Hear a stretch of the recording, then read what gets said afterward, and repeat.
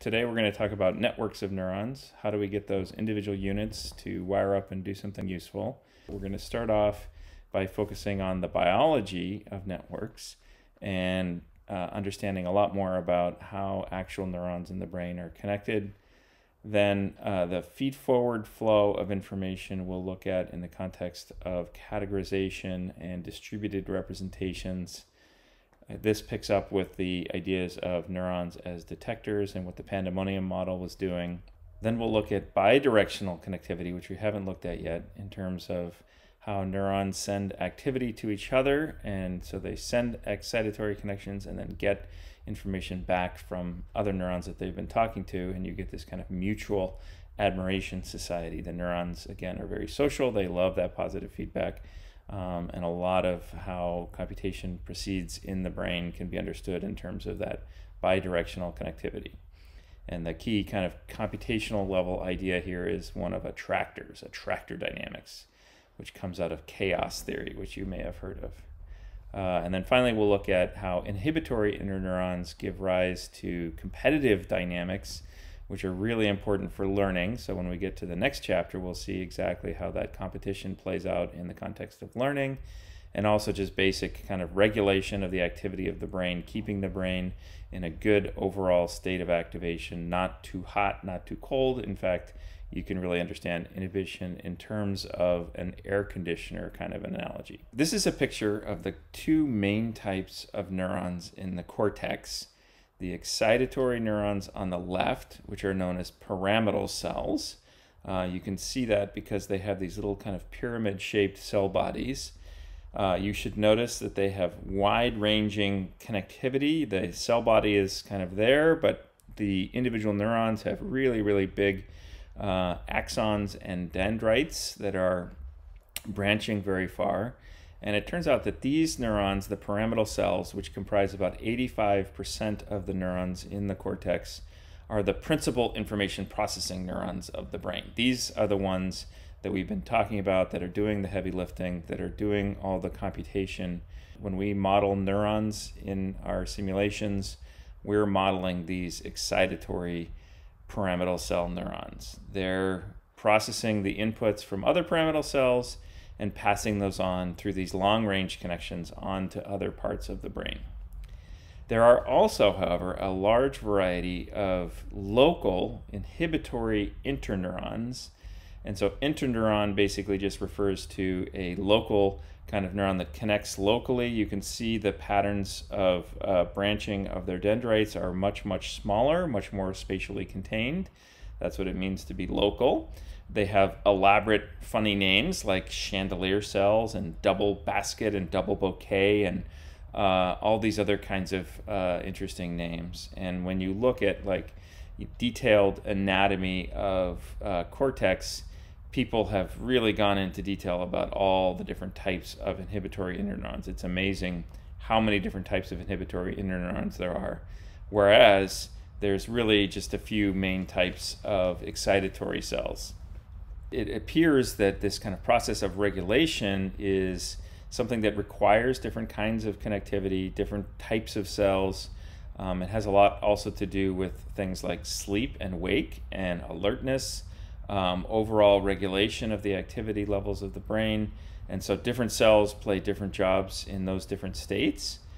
We, of course, are trying to find a simple way of understanding what's going on in the brain. And so we're generally going to try to get rid of as much of that complexity as possible and just have a, a very basic uh, role for the inhibition, which actually, in fact, in most of our models, we don't even have any specific inhibitory neurons in our models. We summarize their effects with a set of equations. We're undoubtedly losing something in the process, but we're also gaining a lot of uh, simplicity in our models as a result.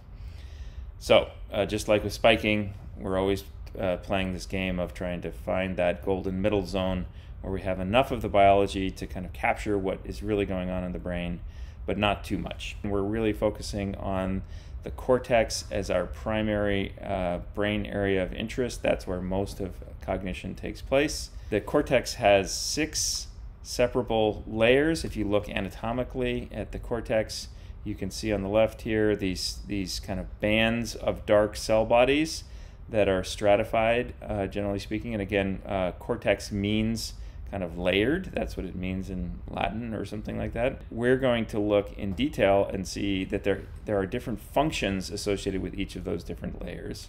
And that gives us a way of uh, using what we know from the biology to think about the structure of information flow in the network, how these different layers are connected both within each other, within a, a given area, and across layers, across different areas.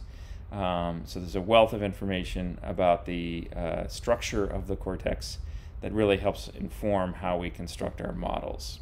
One of the most interesting things about these different layers is that they are differentially organized in different parts of the neocortex. And so this diagram on the right shows you A, B, C, D, four different areas in different areas of the cortex each of which is um, kind of a, a, prototype for a different type of cortical function. So A, it turns out, is primary visual cortex. So this is where all the visual information is coming in from your retina. And you could imagine that there's going to be some kind of anatomical specialization for that area relative to other areas. B is an area just outside of that that's kind of a higher level visual area. C is primary motor cortex, so generating motor actions. That's going to have very specialized uh, neurons that are important for get, uh, driving your muscles. There's uh, different areas that have been identified purely on anatomical grounds based on the relative thickness of these different six layers in, the, in each of these different areas. So this is really the basis that Brodmann used for carving up the brain into these different areas. If we look at uh, this primary visual cortex area, V1, also known as Area 17 in the Brodmann specification, you can see that it has a really uh, extensive set of layer 4 areas. So each of the different um, layers from 1 to 6 are labeled. Uh, they go from the outside, the upper part, the outer part of your brain, down into the more medial part of your brain. You've got so much layer 4 that it's actually subdividable into these now Greek letters, alpha, beta, etc. Um, and so that gives us a clue that something in layer 4 is really important for kind of visual input information processing. 5 and 6, relatively speaking, are, are, are not as thick, not as many cells in layer 5 and 6 when we're in higher levels of visual cortical processing, so not receiving direct visual input, but receiving indirect input from this V1 area, we see a great expansion, especially of layer 3, but also of layer 2. And this is telling us something really interesting. Layer 4 now is relatively compact. You still have a kind of similar layer 5, 6 uh, thickness, but what you really notice is that 2 and 3 are much bigger. So this gives us a clue that those areas may be important for this kind of internal processing of information, whereas 4 seems to be much more important for receiving sensory inputs. Now when we go to area C, we see that layer 5 and 6 now are greatly expanded in this area. And again, this is primary motor cortex, and so this tells us that these areas are really important for sending those kind of motor outputs. And in fact, the very largest neurons in the brain, in the cortex, are to be found. Uh, the giant pyramidal cells in layer five uh, send this direct connections down to like your big toe uh, through the spinal cord and actually really do connect directly to your kind of muscle uh, system. Those projections originate in these deep layers. We call these the deep layers because they're kind of further down. Um, and uh, that's giving rise to essentially the output of the, the brain. So now we're seeing this really nice story emerging here that you have kind of input, sort of internal processing, and then output. Area D, this is pri- uh, prefrontal cortex, and it seems to be kind of a, a an all around player a midfielder in soccer, somebody who's doing a little bit of everything. We can actually reduce that six layers by looking at those different specializations into essentially three primary functionally organized layers in any given cortical area. So uh, as we saw, layer four seems to be receiving the sensory input. Um, this comes into the cortex by way of the thalamus for all of our senses except for olfaction, which goes directly without, uh, that bypasses the thalamus. But it turns out actually that also layer four has a specialized type of neuron called a, a stellate cell that is particularly uh, specialized for receiving that kind of input. And it's actually also more of an interneuron.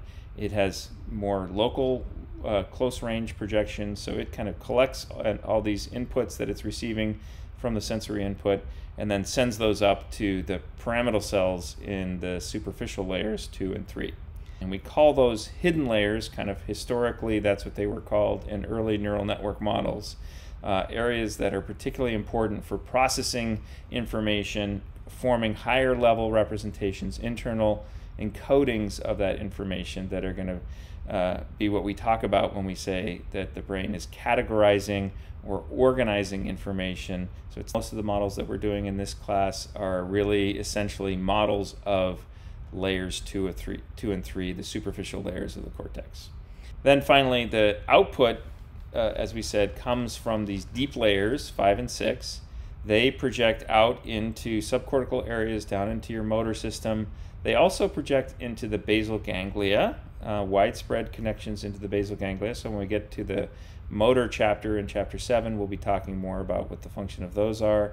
Also go into the cerebellum. So all these different kind of subcortical areas that are doing important other more specific functions in your brain receive that information by way of these deep layer output projections. Interestingly, the output layers also project down into the thalamus the very same kind of thalamic areas that are projecting back up into the cortex. So there's actually a corticothalamic loop here going through these different circuits, and this is the basis of a sort of canonical circuit of the cortex that has been identified.